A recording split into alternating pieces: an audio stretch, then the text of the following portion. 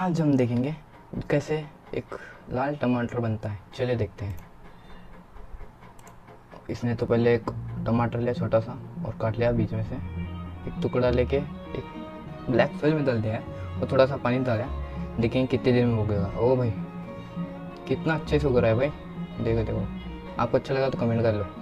थोड़े से अपने पत्तियाँ थोड़ा कट कर लिया और थोड़ा बड़ा होगा और थोड़ा बड़ा होगा। ओ भाई। आपको वीडियो पसंद आ रहा है तो लाइक करो सब्सक्राइब करो। इसने बीच में एक, एक स्टिक रख दिया है क्योंकि उसके लग के चढ़ जाए सीधा सा सीधा।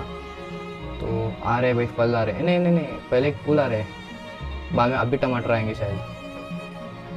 ओ भाई आ गया आ गया टमाटर। ओ ओ भाई भाई अरे भाई कितना लाल हो गया एक सौ बीस दिन में पूरा रेडी हो चुका है।